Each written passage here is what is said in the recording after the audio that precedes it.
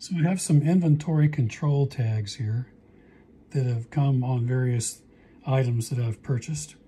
And I decided to see what frequency these operate at. So I have a setup here, which is uh, my uh, Nano VNA and what I call an exciter coil, which is simply to uh, uh connect this up to the um, S11 input.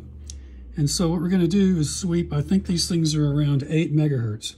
So we're going to take one of these and place it in the coil and see what happens over here on the trace.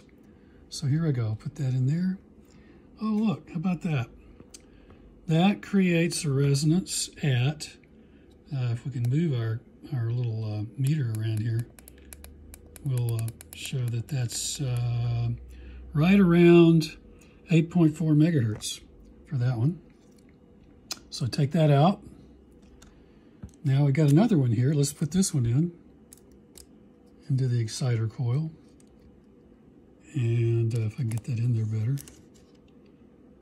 Oh yeah, okay. So there's uh, there's another frequency of interest, which uh, if we look at this again and scan it, that one's at about 8.680 megahertz. Okay, let's got a couple more here. Let's try this one that in there. And there's got a nice response right there. And that one is at 8.750 megahertz. And I got one more here. Let's put that in right there.